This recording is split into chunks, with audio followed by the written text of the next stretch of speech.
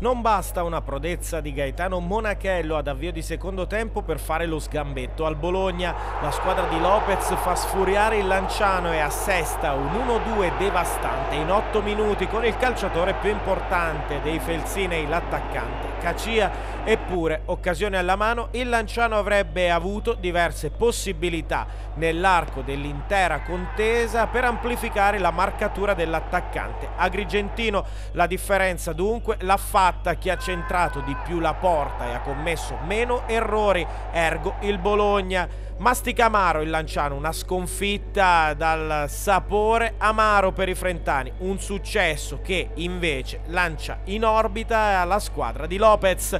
D'Aversa deve rinunciare a Bacinovic nel ruolo di playmaker ed ecco Davide Agazzi che scende per la prima volta in campo da titolare con Paolo Grossi riproposto nell'11 iniziale.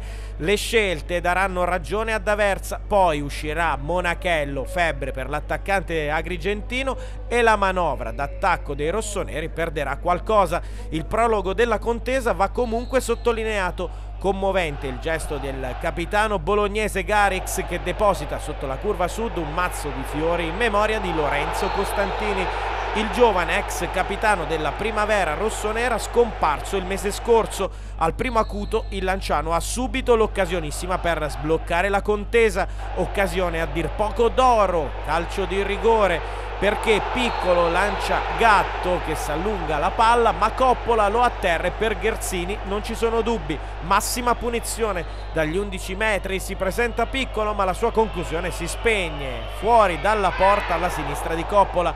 Il Bologna si fa vedere per la prima volta con un tiro di Masina ma Nicolas c'è. Ancora Bologna questa volta con l'ex Casarini che lascia partire un tiro che costringe Nicolas all'intervento provvidenziale in corner Poco dopo un'indecisione difensiva del Lanciano dagli sviluppi di un corner eh, poteva costare caro alla retroguardia rossonera ma in qualche modo i frentani salvano. Il Lanciano c'è è piccolo, ispirato nonostante l'errore dagli 11 metri, prova a dipingere una traiettoria insidiosa a giro che però si spegne di poco al lato della porta difesa da Coppola.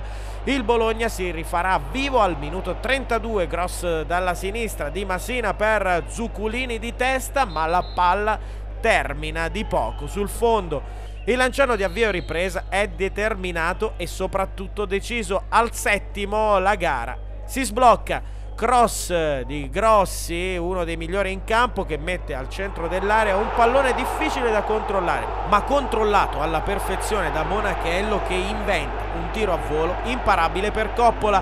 Ancora Monachello che ispira il potenziale raddoppio mettendo la palla al centro dell'area di rigore per Gatto che deve solo spingerla in rete però l'attaccante calabrese incredibilmente si fa respingere un tiro ravvicinato dal portiere bolognese. Gol sbagliato, gol subito, regola del calcio non scritta, applicata al Guido Biondi alla perfezione dal Bologna che nel giro di 8 minuti ribalta a proprio vantaggio la gara.